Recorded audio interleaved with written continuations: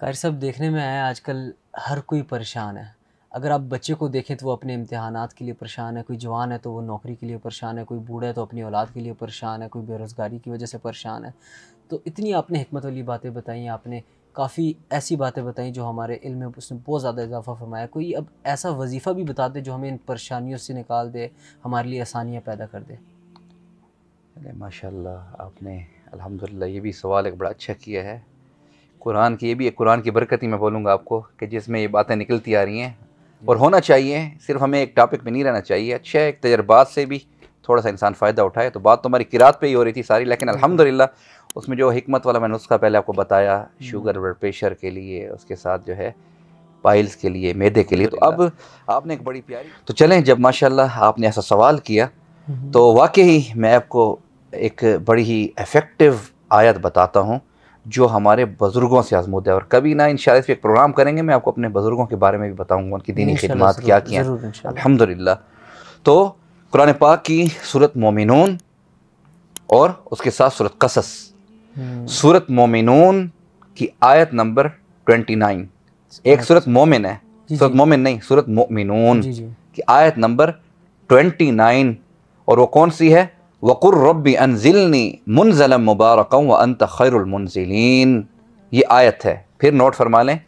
सूरत मोमिनून की आयत नंबर 29 वक़ुर रब्बी अनजिलनी मुनजलम मुबारक व खैरुल यानी जिसका अगर मैं मफहूम बयान करूँ तो यही होगा कि ए मेरे रब मुझे बाबरकत उतार।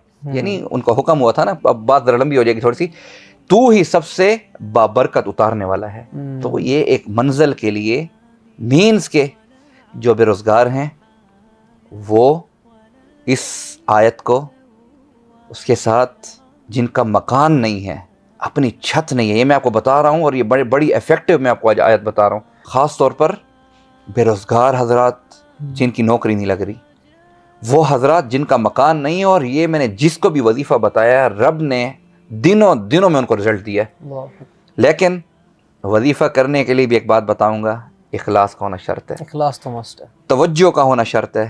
अब ये नहीं कि अजीज़म अब्दुल बासित साहब हम वजीफ़ा कर रहे हैं हम मुसल्ले पे बैठे हैं और शोर में बैठे हैं हम वजीफ़ा भी कर रहे हैं हम इधर देख रहे हैं हम उधर देख रहे हैं। ख़वातीन घर में वजीफ़ा करती हैं लेकिन बच्चे भी उनको तंग कर रहे हैं और फिर घरेलू मामलात पर भी वो डिस्कशन भी कर रही हैं। तबादला या ख्याल भी हो रहा है तो ऐसे गाफिल दिल की फिर अल्लाह ताला नहीं सुनता। बिल्कुल। अल्लाह भी सुनता है वही दसालक इबादी अन्नी फ़न्नी करीब।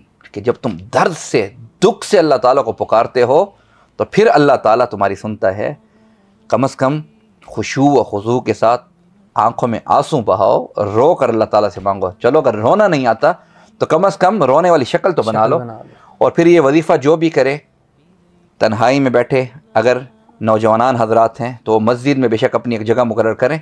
और हर नमाज़ के बाद उन्होंने अव्वल पाँच दफ़ा या सात दफ़ा दरूद इब्राहिमी पढ़ना है। हम्म, सही उसके साथ फिर दरमियान में पच्चीस दफ़ा रब्बी अनजिलनी मुनजलम मुबारक व अंत खैरुलमुनजिलीन ये आयत पढ़नी है। और दूसरी आयत सूरत कसस में है। सूरत कसस की आयत नंबर ट्वेंटी फोर। रब्बी इन्नी लिमा अनजलत इलैया मिन खैर फ़कीर। यानी जिसका मफहूम यही है कि ए मेरे अल्लाह जो भी खैर तेरे हिकमतों में पोशीदा है। तू हम पर नाजल फरमा, हम सब उसके अनजल तैलिया मिन खैर फ़कीर। हम उसके मोहताज हैं। हम नहीं समझते मामलात को। ये दो आयात, पच्चीस दफ़ा सूरत मोमिनून की आयत नंबर ट्वेंटी नाइन और फिर पच्चीस दफ़ा सूरत कसस की आयत नंबर ट्वेंटी फोर।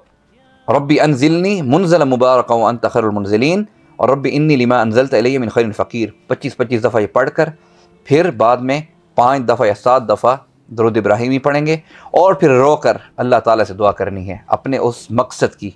और ये भी आपको बता दूँ कि मकासद भी जायज़ होने चाहिए। नाजायज़ मकासद की भी अल्लाह ताला नहीं सुनता। बिल्कुल। ये भी मैं आपको बता रहा हूँ हम बाद वक़्त नाजायज़ मकासद में ना? वजीफे कर रहे वजीफ़े कर रहे होते हैं तो उस पर भी कुछ नहीं होना। हाँ जायज़ मकसद के लिए किसी की शादी नहीं होती। इस तरह बच्चियों के अच्छे रिश्तों के लिए आयत पढ़ी जा सकती है। उसके साथ साथ रोज़गार के लिए रोज़गार में बरकत के लिए दुकानदार हजरात हैं कारोबार नहीं चलता। अच्छा ख़ास तौर पर जो परेशान हजरात हमारे पास आते हैं जो बेचारे रेंट के मकानों में रहते हैं और यकीन करें कि मेरा दिल खून के आँसू होता है कि अल्लाह ताला उनको अपना ज़ाती घर अता फरमाए। अल्लाह ताला की बहुत बड़ी नेमत है। गाड़ी के लिए अच्छी रोज़गार मुलाजमत के लिए अच्छा मकरूज़ जो हजरात हैं कर्ज़ की अदायगी के लिए यानी आप इस आयत को हर मकसद के लिए पढ़ सकते हैं इस वजीफ़े को। इन आयतों को इस वजीफ़े को आप हर मकसद के लिए पढ़ सकते हैं और इन आप इसको पढ़ें हर नमाज़ के बाद जो मैंने तदाद बता दी है इन चंद हफ्तों में अल्लाह ताला आपके सामने ऐसे ऐसे रास्ते खोलेगा कि आप ख़ुद भी हैरान हो जाएँगे। लेकिन एंड पे फिर इखलास नीयत तवज्जो और उसके साथ साथ यकीन कामिल। आपने वजीफ़ा करना है यकीन कामिल के साथ। तो इन जब आप ये वजीफ़ा करेंगे तो इस पर मुझे अल्लाह ताला का वो हुक्म कुरान पाक में याद आता है या इबादी अल्लादीन असरफ़ अला अनफुसिम ला तकनतु मिन रहमतिल्लाह अल्लाह ताला की रहमत से नाउमीद कभी मत होना